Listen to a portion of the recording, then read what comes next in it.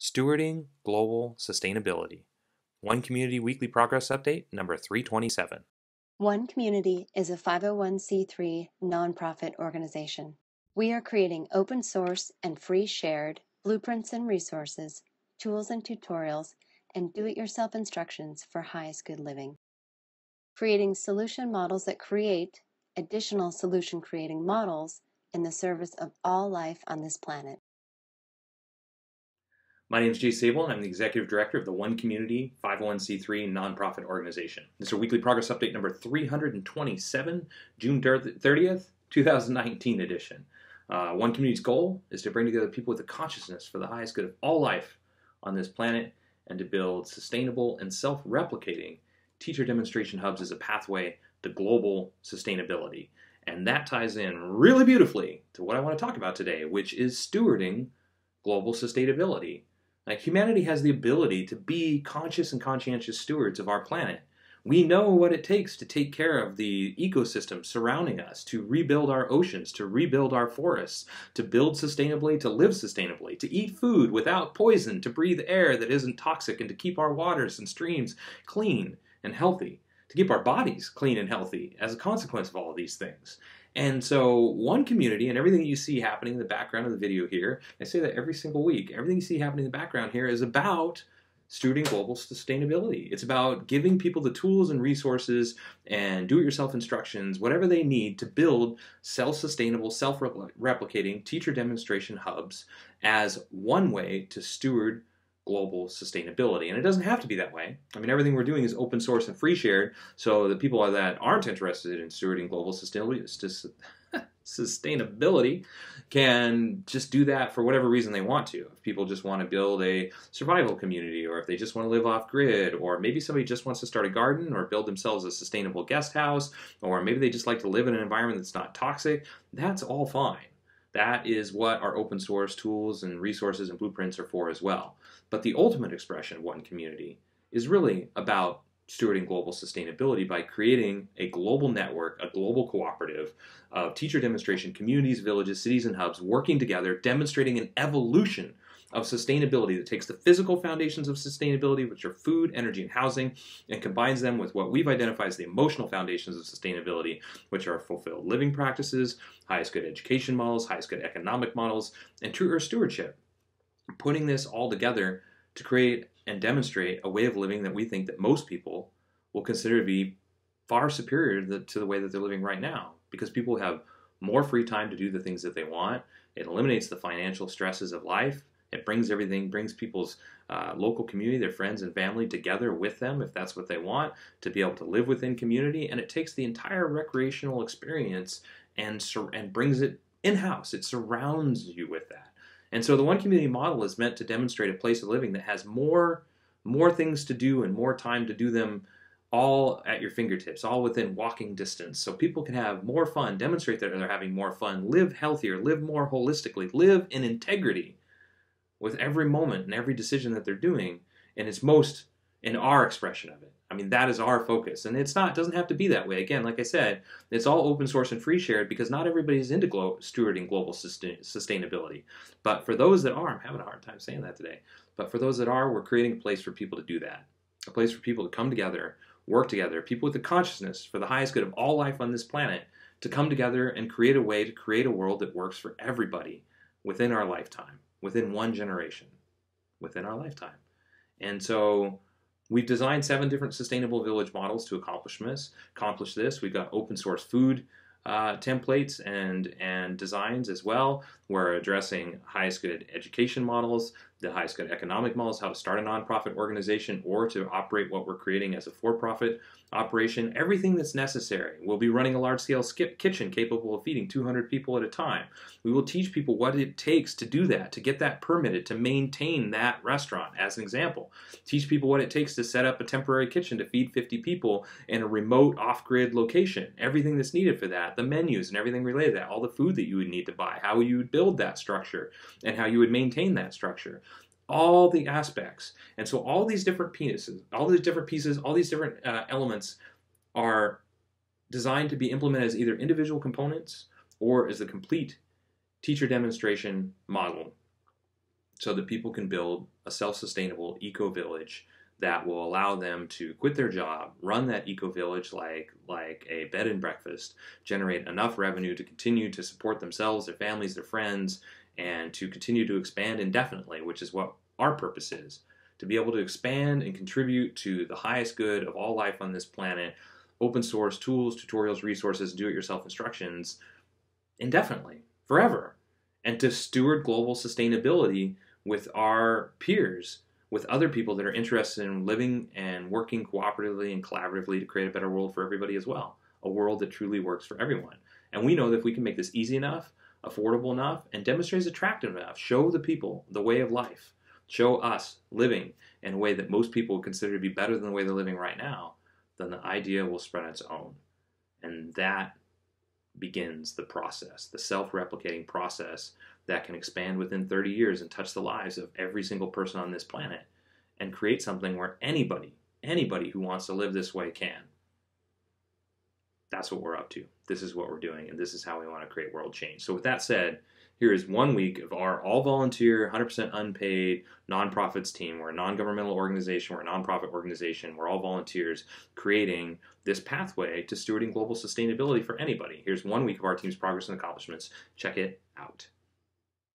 The one community approach to highest good housing is eco artistic home building that is affordable, sustainable, do it yourself duplicable, resource and space efficient, and consists of seven different sustainably constructed village models. This week, the core team used the Murphy bed assembly instructions to test build the benches and a table again in 3D.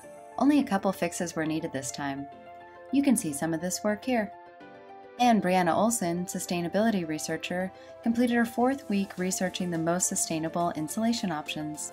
This week, she emailed companies again about the outstanding questions related to the insulation products being evaluated, finalized details for the generic wool and straw insulation, and wrote the first parts of the article covering aircrete. Dean Schulz, architectural designer, finished week 164 working on the Earthbag Village. This week he researched stair and window codes and updated those areas to fit the new south wall. Dan Alec, designer and illustrator, completed his 47th week helping with Earthbag Village renders. This week he finished work on the people, plant, and texture updates to this final view of the Earthbag Village looking northeast. Shadi Kennedy, artist and graphic designer, also completed his 57th week developing the Murphy bed instructions. This week's focus was integrating last week's feedback on the storage and changing areas shown here. One Community is also creating an open source duplicable city center. It is designed to be LEED Platinum certified, provide 12 guest rooms, dining for over 150 people, and laundry and recreation space for over 300 people, all while saving money, time, space, and resources. This week, Anvita Kumari Pandey, civil engineer, measured all the floor areas in AutoCAD and created the initial cost analysis for these areas in the Duplicable City Center cost spreadsheet.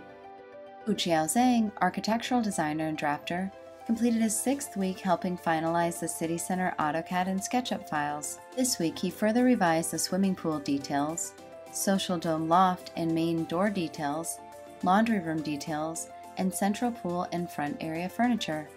You can see some of this work here. Ron Wang, mechanical engineer, continued with his eighth week working on the energy modeling for our LEED Platinum certification and City Center open source HVAC design tutorial. This week he modeled the refrigeration systems and began creation of HVAC system model. Sneha Dongre, structural engineer, additionally continued with her 14th week helping with the Duplicable City Center structural details. This week's focus was adding 3D surfaces to the social dome triangles and testing them in SAP 2000. You can see some of this work here. Elizabeth Kahn, environmental consultant, also completed her 19th and final week as a researcher. This week she finished the why and detailed introductions for the upcoming Most Sustainable Hand Dryer Options page. You can see her work here. One community's approach to highest good food is duplicable almost anywhere scalable for different needs, more biodiverse and nutritious, part of forwarding a global open source botanical garden collaborative, and includes nine different free shared and duplicable growing environments. This week, the core team continued with week 15 of our development of the open source lake and water retention landscape design tutorial. This week, we added and tested initial formatting and anchor links, edited and created and added a new dam summary image and the image from last week. One Community's approach to highest good education is designed for all age groups, adaptable to any schooling environment, inspiring and fun for all participants, includes national standards, all subjects, lesson plans, teaching strategies, learning strategies and tools, classroom design, and more. With eight years invested in designing it, this component of One Community is pretty much complete until we move on to the property and continue to develop it with teachers and students. Completed sections include comprehensive subject outlines covering arts and trades, English, health, math, science, social sciences, technology and innovation, and values. Also, 52 weekly themed lesson plans covering all the subjects we just mentioned, all learning levels and ages, and usable in any learning environment. 12 detailed and progressive curriculum outlines are also complete, summaries and integration of all the best known alternative education programs, including Montessori, Waldorf, Orff, Reggio, and more, and leadership skills, collaborative assessment formats and forums, a global online free education resource hub, classroom design, and more. This week, the core team continued working on the redesign of the Ultimate Classroom. This week, we added ceilings and lights and produced the new set of renders shown here. The One Community approach to highest good society is globally focused, individually enriching, cooperative and collaborative, includes a highest good network and application, four different economic models, and combines fulfilled living and true earth stewardship for the benefit of all people and all life on this planet. This week, the core team working with Brian Gilb, project management professional, created version 1 of our communications procedure and manager user functionality of the Highest Good Network software. You can see some of this work here. There you have it. There's one week of our team's progress and accomplishments working towards this goal of creating a model for stewarding global sustainability, an open source, free shared, do it yourself template and prototype as we build one community for demonstrating a way of life that we think that most people consider to be better than the way they're living right now.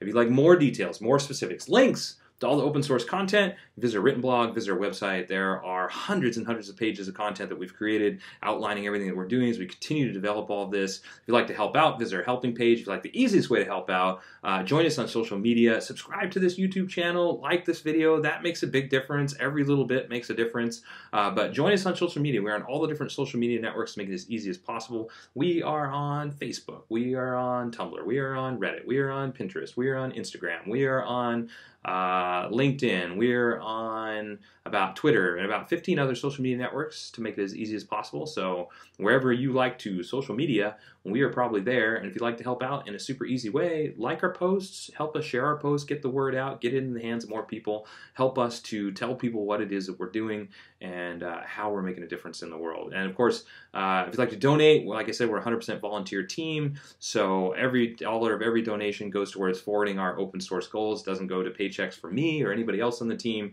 Uh, mainly goes to website expenses. And we're doing a push right now to really uh, to be able to upgrade our servers to a private server so we can improve our website speed and stability. Uh, so if you'd like to donate to us, that's always a great way to help out. If you've emailed us, if you've commented on our videos, all that stuff makes a difference. Every little bit. Just watching to the end also makes a difference. Believe it or not, it actually helps our YouTube algorithm. So if you watch our whole video from beginning to end, that makes a big difference as well, and we thank you for that. And um, yeah, thanks for supporting whatever way works best for you. Till next week, we will, of course, keep on keeping on. Thanks.